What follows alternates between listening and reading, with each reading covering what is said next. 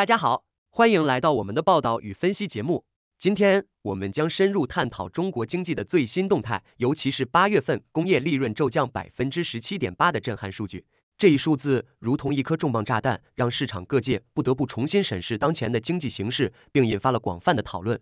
尽管过去几个月经济复苏的希望似乎在升温，但这一数据却无情的揭示了企业在经营过程中面临的种种挑战，特别是原材料成本上涨和劳动力成本增加所带来的压力。许多企业不得不重新评估他们的发展战略，甚至裁员以应对困境。这不仅影响了企业的运营，也直接影响了员工的生活。同时，消费者信心的下降也进一步加剧了经济的下行压力。企业的投资意愿减弱，消费者在不确定的经济前景下开始缩减开支，形成恶性循环。面对如此严峻的挑战，有些企业却在逆境中找到新的机会，通过创新和转型实现了业绩的增长。在此背景下，机构对中国经济的未来走向也表达了不同的看法。高盛和摩根士丹利对经济刺激政策的推行持乐观态度，而一些分析师则警告，只有在经济结构根本变化的情况下，投资者才会重新进入市场。最后，习近平主席的转变与向西方学习的决策，标志着中国将在新的经济周期中构建更加完善的底层保障体系。这一系列变化将为未来的经济发展奠定基础。请大家继续收看详细内容。八月工业利润骤降背后的隐忧与机会。在二零二三年八月的中国市场，一颗重磅炸弹悄然引爆。国家统计局发布的数据显示，规模以上工业企业的利润同比下降了惊人的百分之十七点八。这一数字如同一记响亮的警钟，震撼了整个市场，也引发了广泛的关注与讨论。有人说这是经济形势的真实写照，也有人认为这是企业迎来变革与机遇的前奏。回顾过去几个月，经济复苏的乐观情绪似乎在逐渐升温。然而，八月份的数据却让人们不得不重新审视当前的经济状况。究其原因，主要是受到去年同期高基数的影响。去年八月，工业企业的利润表现相当亮眼，为今年的比较带来了不小的压力。在一至八月份的统计中，全国规模以上工业企业的利润总额达到了四万六千五百二十七点三亿元，虽然同比增长了百分之零点五，但这其中却隐藏着许多不容忽视的细节。国有控股企业的利润总额为一万五千四百九十点六亿元，同比下降了百分之一点三，而股份制企业的利润同样也下降了百分之一点三，利润总额为三万四千四百三十点三亿元。这一系列的数据背后反映出的是企业在经营过程中面临的重重挑战。想象一下，一家大型制造企业在经历了疫情的冲击后，原本寄希望于市场的复苏，然而却发现原材料价格上涨、劳动力成本增加等问题接踵而至，企业的利润空间被不断挤压，许多企业不得不采取降本增效的措施，甚至有些企业开始裁员以应对困境。这不仅影响了企业的运营，也对员工的生活产生了直接的影响。在这样的背景下，许多企业主开始感到焦虑。比如，位于江苏的一家机械制造公司，原本计划在今年扩大生产规模，但随着利润的下滑，他们不得不重新审视自己的战略。公司老板李先生表示：“我们曾经对未来充满信心，但现在的市场环境让我们不得不谨慎行事。”与此同时，消费者的信心也在受到影响。随着工业利润的下降，企业的投资意愿减弱，进而影响到市场的活力。消费者在面对不确定的经济前景时，往往会选择缩减开支，这又进一步加剧了经济的下行压力。可以说，工业利润的下滑不仅是企业的困境，更是整个经济生态的警钟。然而，尽管面临诸多挑战，仍有一些企业在逆境中寻找到新的机会。比如，一些科技型企业通过创新和转型，成功开辟了新的市场。深圳的一家电子科技公司，凭借其在人工智能领域的技术优势，逆势而上，实现了利润的增长。公司负责人表示：“我们始终相信，创新是企业发展的动力，即使在困难时期，我们也要不断探索新的可能。”总的来说，八月份工业利润的骤降，既是对中国经济的一次警示，也为企业提供了反思与调整的机会。在未来的日子里，如何在复杂多变的市场环境中保持竞争力，将是每一个企业必须面对的挑战。只有通过不断的创新与适应，才能在风云变幻的经济大潮中立于不败之地。高盛与摩根士丹利眼中的中国经济刺激，中国经济正面临诸多挑战，尤其是在疫情后的复苏过程中，经济增长的动力显得尤为重要。为了应对这些挑战，内地政府接连推出了一系列经济刺激措施，旨在提振市场信心，促进消费和投资。随着这些政策的实施，股市也随之大涨，投资者的热情被重新点燃。在全球知名的投资银行高盛眼中，中国经济的复苏充满希望。高盛全球市场部董事总经理鲁布纳 （Scott Rubner） 对此持乐观态度。他认为，这一次对中国来说不同以往。经过一段时间的调整和反思，中国股市的复苏曙光出现。这一观点迅速引起了市场的广泛关注，许多投资者开始重新审视中国市场的潜力。摩根士丹利也对中国股市的前景表示乐观。该机构的分析师指出，随着经济刺激政策的逐步落实，市场将会迎来更多的投资机会。他们认为，政府的支持将为企业创造更好的发展环境，从而推动股市的进一步上涨。然而，并不是所有机构都对中国经济的复苏持乐观态度。一些分析师警告，只有在通货紧缩的前景得到有效控制，并且房地产市场发生根本变化的情况下，投资者才会愿意投入新资金。房地产市场一直是中国经济的重要支柱，任何波动都可能对整体经济产生深远影响。因此，如何稳定房地产市场成为了各大机构关注的焦点。在这样的背景下，许多投资者开始积极寻找投资机会。比如，一位名叫李明的投资者最近在股市中获得了可观的收益。他表示：“我一直在关注高盛和摩根士丹利的分析，觉得现在是一个不错的入场时机。”李明的故事并不是个例，越来越多的投资者开始相信中国经济的复苏将为他们带来新的财富机会。总的来说，尽管市场前景依然存在不确定性，但高盛和摩根士丹利的乐观态度无疑为投资者注入了一剂强心针。随着经济刺激政策的不断推进，中国经济的复苏之路或许将会更加明朗。投资者们在这个充满机遇的市场中正积极布局，期待着未来的丰收。新的经济周期，中国的转型与挑战。在全球经济风云变幻的背景下，中国正迎来一个新的经济周期。习近平主席在这个关键时刻似乎意识到了向西方学习的重要性，开始着手构建一个更加完善的底层保障体系。这一系列的变化不仅是对国内经济形势的回应，也是对国际环境的深刻反思。首先，习近平主席的转变可以追溯到近年来中国经济面临的挑战。随着全球经济增长放缓，贸易摩擦加剧，中国的出口导向型经济模式遭遇了前所未有的压力。为了应对这些挑战，中国需要寻找新的增长动力，而这正是向西方学习的契机。通过借鉴西方国家在经济管理、社会保障等方面的成功经验，中国希望能够在新的经济周期中实现可持续发展。在这个过程中，底层保障体系的构建显得尤为重要。中国政府意识到，只有通过建立一个更加完善的社会保障体系，才能够有效地提升民众的生活水平，增强消费能力，从而推动经济的内需增长。例如，近年来的中国在医疗、教育、养老等领域的改革，都是为了增强社会保障的基础，确保每一个公民都能享受到基本的生活保障。这不仅是对民生的关怀，也是对经济发展的长远考虑。此外，习近平主席还强调了科技创新的重要性。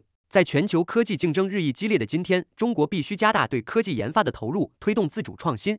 通过与西方国家的合作与交流，中国可以在技术上实现更大的突破，进而提升国家的竞争力。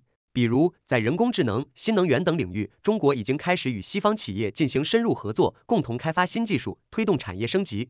当然，向西方学习并不意味着完全照搬。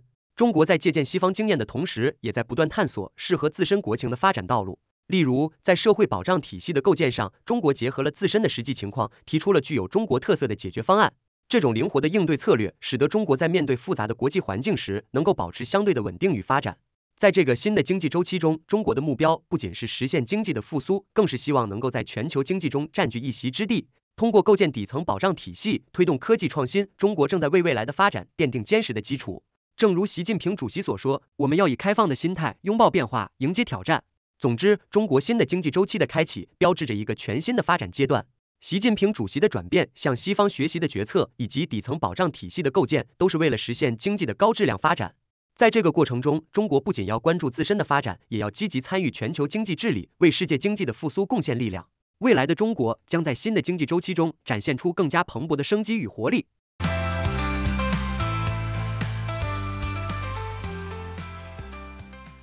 欢迎大家进入六度探索的辩论环节，我们从正反两个角度对本节目进行辩论，请出我们的辩论高手楚天舒、谢琪琪。我是楚天舒，我是谢琪琪。各位观众，今天我们要讨论的是内地八月工业利润大跌百分之十七点八。以及中国经济复苏的前景。首先，我要指出，这一利润下降是不可避免的。去年同期基数高，这本身就是一种挑战。面对原材料价格上涨、劳动力成本增加等问题，企业利润被压缩是必然的。而且，这也反映了中国经济正在经历一个调整期，这对未来的长期健康发展是必要的。楚天舒，你这是在给大家洗脑吗？百分之十七点八的跌幅可不是小数目，这可不是简单的基数效应。想象一下，如果你上个月吃了一顿大餐，结果这个月只能啃泡面，你会觉得这是正常的吗？工业利润的下降，直接影响的是企业的财务健康、员工的饭碗和整个市场的活力。就像《红楼梦》里的贾府一样，表面风光，内里却已经开始崩塌。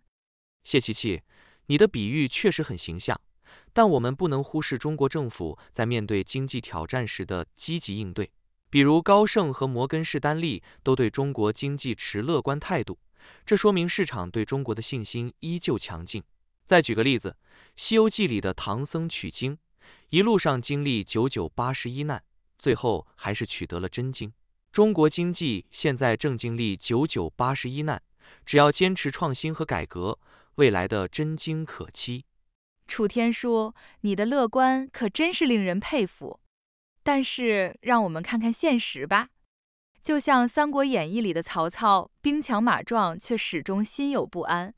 中国的房地产市场就像曹操的兵力，表面强大，实则暗藏危机。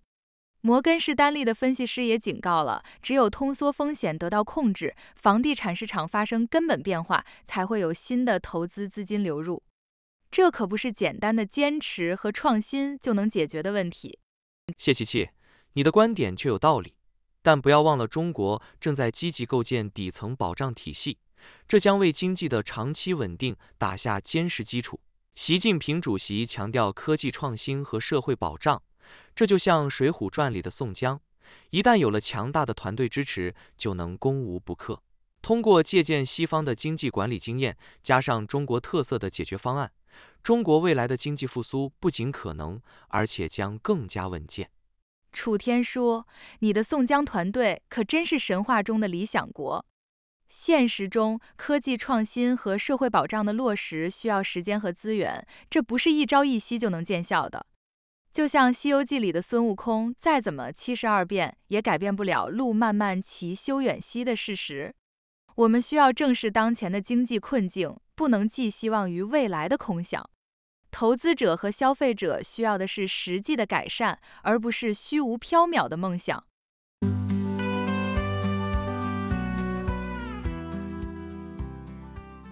六度 AI 克隆声音系统，让您拥有一百四十五种语言能力的新时代。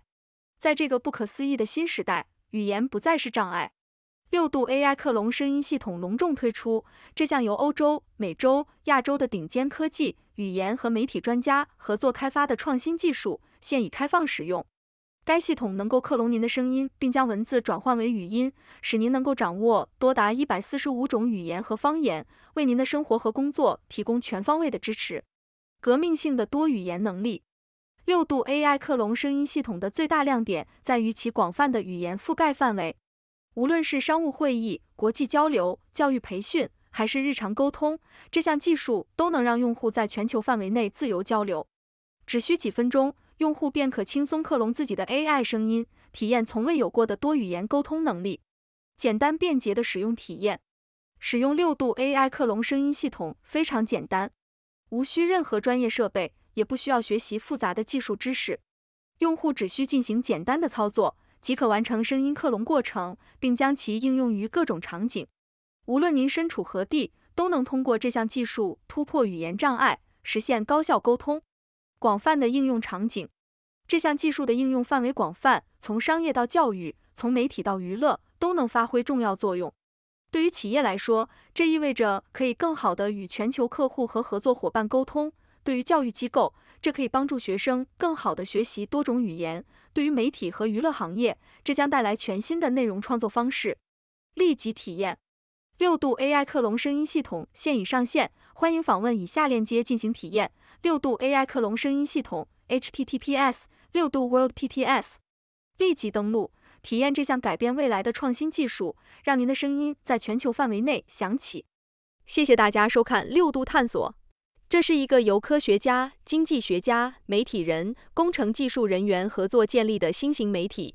网友与六度 AI 参与合作，完成各种内容。这些内容不能作为任何决策或法律的意见。这是一个新型的试验性媒体方式，我们希望得到大家的支持，修正错误。